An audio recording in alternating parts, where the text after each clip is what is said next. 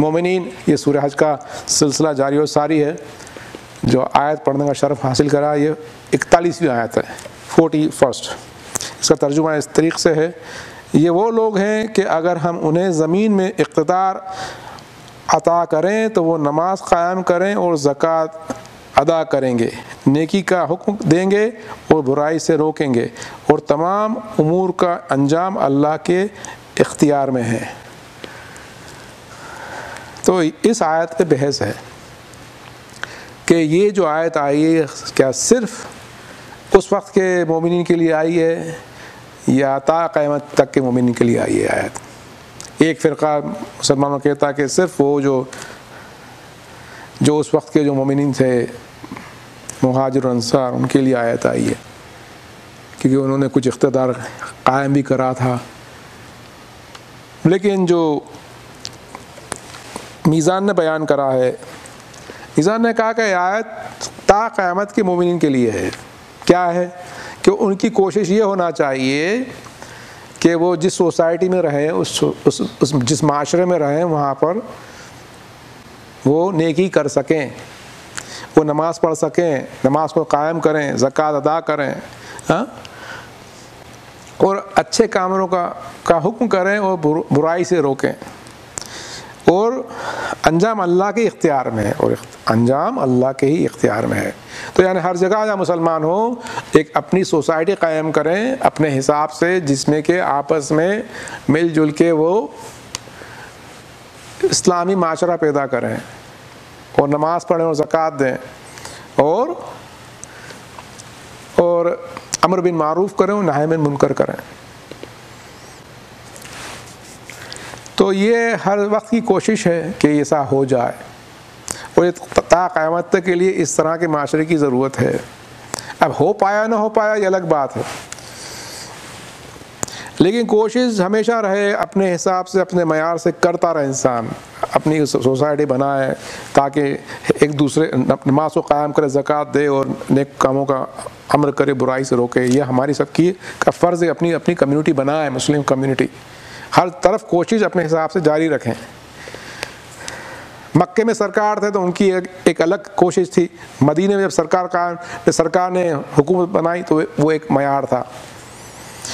इसकी सही जो ये इस आयत के बारे में इमाम मोहम्मद बाक़म फरमाते हैं अल्लाह कि यह आयत खसूस इमाम महदी सलाम के लिए और उनके साहब के लिए कि जो वाकई में इस दुनिया के अंदर जिस अदल इस दुनिया को अदल से भर देंगे और यहाँ पर कुफ्र निफाक ख़त्म कर देंगे। तो लेकिन इसका ये मतलब नहीं कि वो आएँगे और वही करेंगे और हम तो बैठे रहें ऐसा नहीं है। अभी आप अपनी तरफ़ से इसमें कोशिश करें अपनी सोसाइटी के माशरे को इस्लामिक बनाएँ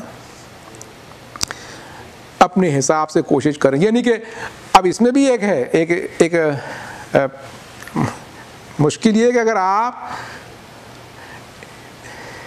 ऐसे मुल्क में रहते हैं जहाँ के जहाँ की के जो गवर्नमेंट है वो गैर इस्लामी है। तो आप क्या करेंगे वहाँ?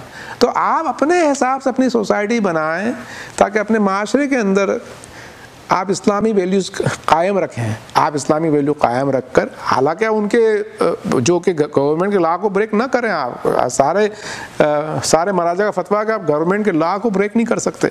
लेकिन अल्हम्दुलिल्लाह इस्लाम इतना आसान मज़हब है कि वो वो आसानी के रास्ता चाहता है। तो आपको चाहिए कि जो भी गवर्नमेंट लॉ के, जैसे आप आप यहाँ रहते हैं अटलांटा में रहते हैं तो आप अपने गवर्नमेंट के लॉ भी आप कायम रख सकते हैं और अपने इस्लामी माशरा भी आप चला सकते हैं। लेकिन जो इस्लामी हुकूमत की बात है तो वो इस्लामी, जहाँ मुल्क है, वहाँ पर इस्लामी हुकूमत की बात है। लेकिन जो लोग दूसरे दूसरे मुल्कों में हैं, उनको अपने हिसाब से रहना चाहिए और मर्ज तकलीद का भी यही हुक्म है। जब इमाम जमा आएँगे तो वो बात अलग है, लेकिन हमको कोशिश करना चाहिए कि हमारे माशरा ऐसा तैयार हो कि जब इमाम जमा आए तो हमको उनकी नुसरत में मुश्किल ना आए, हम उनके नासरीन में कहलाएँ अब इसमें अमर बिन मारूफ और नही बिन मुनकर के बारे में काफ़ी हदीसें हैं, मैं थोड़ी सी कुछ पढ़ देता हूँ कि किसी ने सरकार से पूछा कि सरकार सबसे नेक काम क्या है? सरकार ने फरमाया कि जो तुम में से अमर बिन मारूफ नाम करता है, वो सबसे ज़्यादा नेक है। मौला मुतकिया ने अमर बिन मारूफ नाम के बारे में क्या कहा? कहा कि सारे जितने अमल हैं, उनको उसमें आप जिहाद भी रख लें। वो सब के सब अमर बिन मारूफ नाम मुनकर के मुकाबले में ऐसे हैं कि लुआब दहन और एक बड़ा समंदर। सारे अमल जिहाद मिला के भी लुआब दहन के बराबर हैं। और अमर बिन अमर बिन मारूफ एक समंदर की तरह है। इतनी बड़ी अजमत है इसकी। क्यों है ऐसी अजमत? अगर हम अमर बिन मारूफ और अमर उनका न करेंगे तो हम लोग दीन से गाफिल हो जाएँगे। दीन से हम गाफिल हो जाएँगे। अगर आप गैर मुस्लिम मुल्क में रहते हैं और अगर आपने अपनी वैल्यूज़ छोड़ दी, जो कि बहुत आसान है। आजकल का जो माशरा आपको मालूम कैसा है। हमने अगर अपने इस्लामिक स्कूल कायम न करे हमने अपने बच्चों को सिखाया नहीं कि इस्लाम पे कैसे चलना और एक दूसरे की मदद नहीं करे तो हम लोग मिक्सिंग पार्ट में मिक्स होकर ख़त्म हो जाएँगे। मिक्सिंग पार्ट में होकर मिक्स ख़त्म हो जाएँगे और दीन ख़त्म हो जाएगा। इसलिए सबसे ज़रूरी मज़हब में अमर बिन मारूफ नाम मुनकर है। लेकिन इसका भी तरीक़ा है कि किस तरीके से किया जाए। एक मिसाल पेश की जाती है कि सरकार के पास एक जवान आया और सरकार के पास जवान आके कहने लगा कि मुझे जिना पसंद है। जवान था और असाब बैठे थे तो उनको गुस्सा आ गया असाब को। कहा कि ये तुम कैसी बात कर रहे हो सरकार से? तो सरकार गुस्सा नहीं करे सरकार। कहा कि, क्या ठंडे दिमाग से सरकार ने कहा कि क्या तुमको पसंद आएगा कि तुम्हारी माँ के साथ कोई जना करे? तो बोला, नहीं नहीं। फिर सरकार खामोश हो गए। कहा क्या तुमको पसंद आएगा कि तुम्हारी बेटी के साथ कोई जिना करे? अरे नहीं नहीं नहीं। क्या तुम्हें पसंद आएगा कि तुम्हारी बहन के साथ कोई जिना करे? अरे नहीं नहीं। वो शर्मिंदा हुआ। तो सरकार ने कहा, ने फिर फिर उसके सीने पर हाथ रखा और दुआ करी। अल्लाह सुबह ताला से अल्लाह सुबह ताला इसके हार्ट को, इसके दिल को पाक कर दे मेरा। और इसके गुनाहों को बख्श दे और इसको हर तरह की फहाशा से दूर रख। उसके बाद वो शख्स इतना नेक हो गया। तो इस तरीके से अमर बिन मारूफ सरकार ने करा नरमी के साथ और समझा के।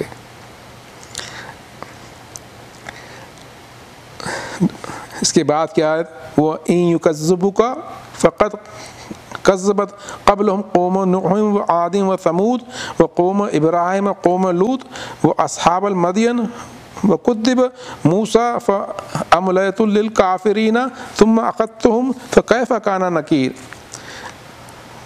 और अगर ये आपको जुटला रहे हैं तो उनसे पहले नूह की नूह की कौम और आद और समूद ने भी अपने अपने अम्बिया को झुटलाया और इब्राहिम की कौम और लूत की कौम ने भी। और असहाब मदियन ने भी और मूसा को भी जुटलाया गया पहले। तो मैंने काफिरों को ढील दी और फिर अपनी गिरफ्त में ले लिया। देखो कि मेरा आ, मेरी उक़ूबत कैसी थी? तो अल्लाह सुबह ताला फरमा रहा है कि अगर तुम झुटलाए गए हो तो इससे पहले नूह की कौम ने भी जुटलाया। पैगंबर नूह को और आद और समूद ने भी झुटलाया और और हज़रत इब्राहिमी कौम ने, हज़रत लूती कौम ने भी झुटलाया और मदियन के लोगों ने भी झुटलाया और मूसा को भी झुटला दिया। तो फिर अल्लाह ताला ने उनको ढील दी और बाद में उनको अपनी गिरफ्त में ले लिया। तो अल्लाह के यहाँ ढील है ताकि ताकि दो तरह की ढील है। क्यों ढील क्यों है? निकुकारों के लिए ढील इसलिए गए ताकि वो तोबा कर लें और आगे अपनी गुनाहों की माफ़ी मांग लें। गुनाहगारों के लिए और और जो सरकशों के लिए ढील इसलिए कि गुनाह में और और आगे बढ़ जाएँ, ताकि फिर उनके पास, अल्लाह के पास जाने के बाद कोई हुज्जत नहीं रहे।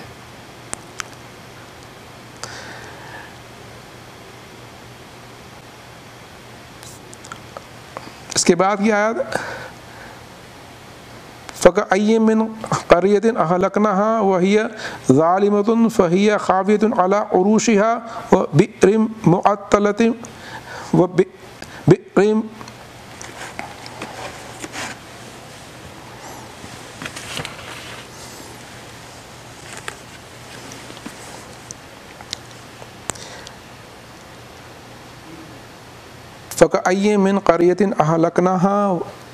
हिय ज़ालिमतुन फ़िय खावियतुन अला उरूशिहा व बिरिम मुअत्तलतिन व कसरिम मशीद।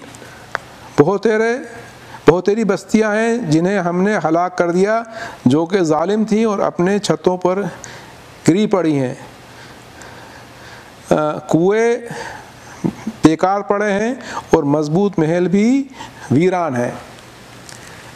अल्लाह सुबह ताला ने कहा कि तुम ऐसी बहुत सी बस्तियाँ जिनको हमने नेस्त नाबूद कर दिया, क्योंकि वहाँ के रहने वाले बाशिंदे ालिम थे और उनकी दीवार उनकी छतों पे गिरी पड़ी है। यानी कि दीवार छतें गिर गई, क्योंकि लोग मर चुके थे। तो तो वो जब लोग मर गए थे तो धीरे धीरे छतें गिर गईं और दीवारें छतों पर गिर गईं। और जब लोग ही नहीं रहे तो कुएँ भी वीरान हो गए। और जो मज़बूत महल थे, वो भी वीरान हो गए, सब वीरान हो गया। क्योंकि लोग ही नहीं रहे। अल्लाह ताला ने ऐसे पहले इसकी पहले की आयत में बताया, अल्लाह ने किस तरह से अल्लाह ने सबूत और रात को नेस्त नाबूद कर दिया। अभी भी आप डॉक्यूमेंट्री में देख सकते हैं, समूद के, कि जो कि, मकान है, आज आप भी देखेंगे तो आप देख के हैरान हो जाएँगे किस तरीके से समूद ने अपने मकान बनाए थे, पहाड़ों को तराश तराश कर, पूरे के पूरे शहर बनाए थे। तो बिल्कुल वीरान हो गए। तो कुएँ भी वीरान हैं बड़े बड़े महल हैं, वो भी वीरान पड़े हैं। तो इसके अंदर जो कि मुला फरमाते हैं कि कुएँ से क्या मुराद है? वीरान कुएँ से क्या मुराद है? तो वीरान कुएँ से मुराद है खामोश इमाम। खामोश इमाम जो, जिसके पास कोई जाता नहीं है, वो खामोश इमाम इस कुएँ से मुराद है। और और मज़बूत महल जो आए यहाँ, जो मज़बूत महल से बोलता इमाम है, जिसकी की बात लोग सुनते हैं, मज़बूत महल से ये मुराद है।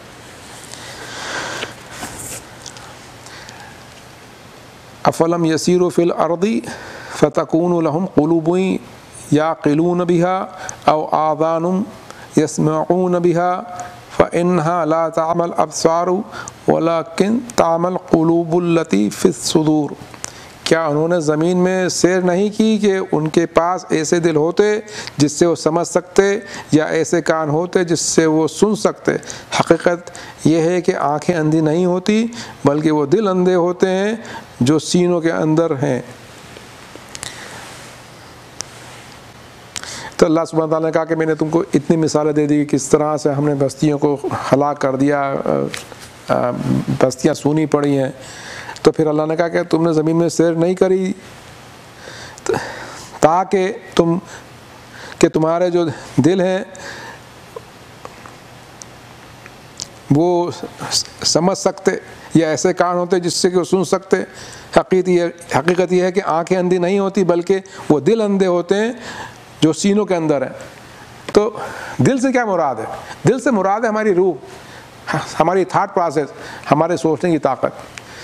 तो अल्लाह सुबह ताला कहता है कि आँखें अंधी नहीं होती, दिल अंधे होते हैं। यानी हमारी समझ, हमारी रूह, वो अंधी होती है।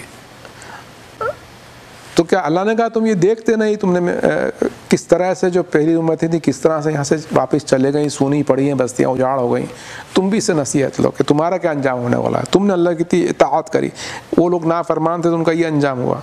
तुम, लेकिन का, अल्लाह ने कहा कि आँखें अंधी नहीं होती, दिल अंधे होते हैं।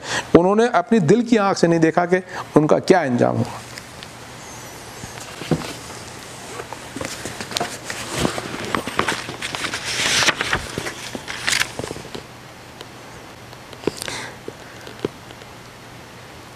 तो सरकार फरमाते हैं कि अल्लाह ताला जिस पर, अपने बंदे पर मेहरबान होता है तो वो उसकी दिल की आँख को खोल देता है, जिससे वो वो चीज़ें देखता है जो उससे पहले उससे छुपी हुई होती हैं। जिस पर अल्लाह मेहरबान होता है, उसकी दिल की आँख खोल देता है। जिससे वो चीज़ें देखता है जो दूसरों से छुपी रहती है। अल्लाह ताला ने कहा ना कि जो लोग ईमान लाए वो लाए, वो वो मुर्दा हैं, और जो जो बा ईमान है, वो ज़िंदा है। जो मोमिन होता है और जिसकी आँख खुली होती है, वो ऐसी चीज़ देखता है जो दूसरों से छुपी होती है। वो वो चीज़ें देखता है जो दूसरे नहीं देखते हैं। अब मोमिन के भी दर्जात हैं कि कौन से लेवल का मोमिन है। है ना? हर एक को हर चीज़ नहीं दिखती ना, लेकिन जो उर्फा होते हैं, जो कि उल्मा होते हैं, जो उन्होंने काफ़ी सलूक में आगे बढ़े हुए हैं तो वो वो चीज़ें देखते हैं जो हम नहीं देखते हैं। वो जो जो उनको वो चीज़ें दिखाई देती, जो हमको नहीं दिखाई देती, वो आमिर इंसान के चेहरे को देख के बता देते हैं कि उसकी रूहानियत कितनी है और उसके क्या गुनाह है। चेहरे को देख के बता देते आप हमको नहीं दिखता वो। या उनको रात के ख्वाबों में वो चीज़ें दिख जाती हैं जो हमको नहीं दिखती हैं। आगे की आगे की खबरें मिल जाती हैं उनको। तो ये चीज़ें हैं जो जो उनको जो दिखती है वो हमको नहीं दिखती हैं। और भी बहुत दिखता है उनको जो, जिसका जितना रूहानी सफ़र है, उसको अल्लाह उतना देता है और उतना दिखाता है। और उसका ईमान उतना और मज़बूत करता अल्लाह।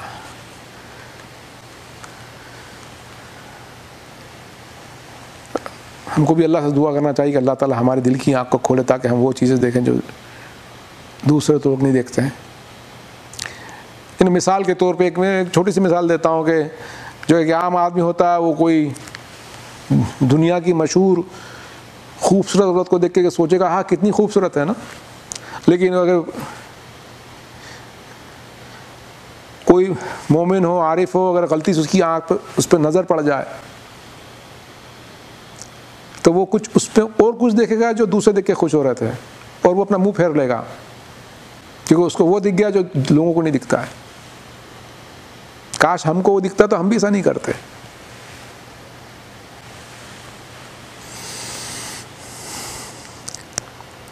तो उन लोगों के लिए तकवा ज़्यादा आसान हो जाता है क्योंकि उनको वो चीज़ दिखती है जो हमको नहीं दिखती है। वो यस्ता जिलून का बिल अदाब नई यखलफ़ुल्ला वादह व इन योमन इंद रबी का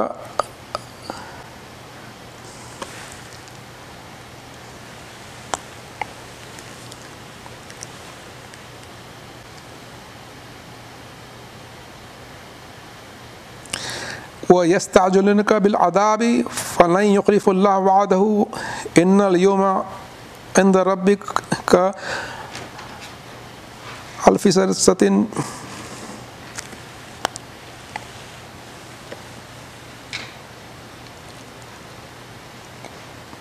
व यस्ताजिन का बिल अदाब वलन यखलफ़ुल्ला वादहू इन योम इंद रबी मिम्मा तद्दून एक बार वो पढ़ना पड़ेगा। मुश्किल आया था ये उसको मैं चौथी बार पढ़ रहा हूँ तो आपको एडिटिंग ध्यान से करना पड़ेगा। व यस्ताजलून का बिल अदाबी, फ़लन यखलफ़ुल्ला वादहू इन योम इंद रबिक का अल्फ़सनतिम तद्दून ये लोग आपसे जल अजाब लाने का मुतालबा कर रहे हैं और अल्लाह हरगिज़ वादा खिलाफी नहीं करेगा और एक दिन तुम्हारे रब के नज़दीक हज़ार साल के बराबर है जिसे तुम शुमार करते हो। हर वक्त हर पैगंबर से यही डिमांड रही है, ख्वाहिश रही कि जल्दी आए अजाब, दिखाओ तुम जो कह रहे हो। क्योंकि लोग जाहिल थे और जब अजाब आता था तो कहते थे, हम ही ालिम हैं, हमेशा ही रहा। अजाब जल्दी लाओ अजाब जल्दी लाओ सरकार से भी पूछते लोग कि आप अजाब लेके आ जाएँ। तो कहा कि ये तुमसे अजाब लाने के बारे में जल्दी कर रहे हैं। तो अल्लाह ने कहा कि अल्लाह अपनी वादा खिलाफ नहीं करता और तुम्हारे परवरदिगार के नज़दीक हज़ार साल के बराबर है जिसे तुम शुमार करते हो। इसका क्या मतलब हुआ? हज़ार साल के बराबर जिसे तुम शुमार करते हो। मीज़ान ने समझाया है। मीज़ान ने कहा है कि हज़ार साल से मुराद ये है कि अल्लाह कह रहा है कि तुम अजाब में जल्दी कर रहे हो, लेकिन अल्लाह अपनी वादा खिलाफ़ी नहीं करता है। मतलब अल्लाह को कोई जल्दी नहीं है, क्योंकि अल्लाह को रोकने वाला कोई भी नहीं है। जल्दी वो करता है जिसको खौफ हो कि उसको कोई रोक देगा। अल्लाह को कोई खौफ नहीं है कि कोई उसे रोकेगा। तो अल्लाह के लिए एक दिन हो या हज़ार साल हो, अल्लाह के लिए बराबर है। ना लिए एक दिन छोटा है, न एक हज़ार साल कोई बहुत बड़े हैं। क्योंकि जो अल्लाह को करना है, वो अपने वक्त पे कर देगा वो। उसके लिए वक्त की कोई पाबंदी नहीं है। हज़ार साल हो तो कोई बात नहीं, एक दिन हो तो कोई बात नहीं। कि अय मिन करियतिन अमलतु लहा व ये ालिमतुम तुम अक़तुहा व इलैल मसीर। और बहुत सी ऐसी बस्तियाँ हैं जो ालिम थी उन्हें पहले मैंने मोहलत दी फिर उन्हें अपनी गिरफ्त में ले लिया और मेरी ही तरफ़ बाजगश थे। अल्लाह सुबह ने बार कुरान में कहा कि किस तरीके से लोगों ने अम्बिया को झुटलाया और किस तरीके से अल्लाह ने ढील दी फिर उसके बाद अल्लाह ने आ, आ, पहले मोहलत दी, फिर उसके बाद अपनी गिरफ्त में ले लिया। वो मेरे, और मेरी तरफ़ ही बाज गश थे। अभी इतना सा आया है कोरोना, उसमें दुनिया परेशान हो गई है।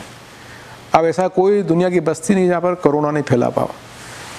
तो अल्लाह के लिए कोई मुश्किल नहीं, एक वायरस आया उसने दुनिया भर में तूफ़ान मचा दिया। और पता नहीं कब तक चलने वाला है, वो कितने लोग आगे मरने वाले हैं। अभी भी लोग नहीं सीख रहे हैं। अभी भी मतलब मास ग्रेव्स बन गई न्यूयॉर्क में हर तरफ़ चौ तरफ़ मुल्कों में मास ग्रेव बनी हुई है, है? उसके बाद भी लोगों को समझ नहीं आ रही है कि अल्लाह से खौफ करें और अल्लाह की तरफ़ रुजू करें और उसके फरमा बरदार हो जाएँ।